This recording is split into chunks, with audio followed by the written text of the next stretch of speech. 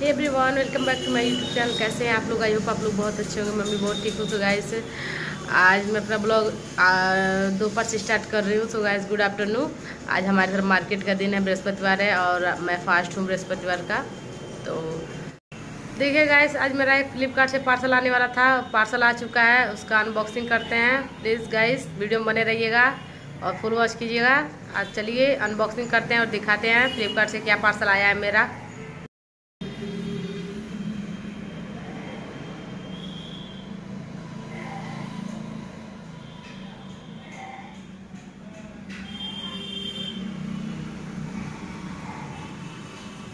दिखा दे रहे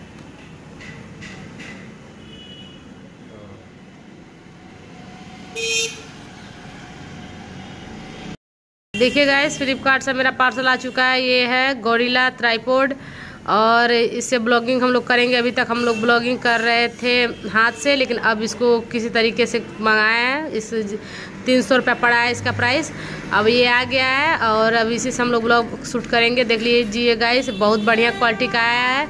सब कुछ बढ़िया और इससे वीडियो भी बहुत अच्छा शूट करा है। इसका वीडियो हम शूट कर इससे वीडियो शूट करके हम आप लोगों को दिखाएँगे वीडियो में डालेंगे। देखिएगा आप लोग। और इसी इसी वीडियो में दिखाएँगे शूट करके और आप लोग वीडियो में बने रहिएगा और देखिए आप लोग को लेना होगा तो आप लोग कमेंट कीजिएगा।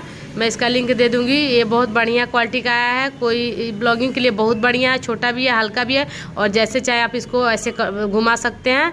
तो गाइस मिलते हैं नेक्स्ट ब्लॉग में। तब तक के लिए बाय बाय गाइस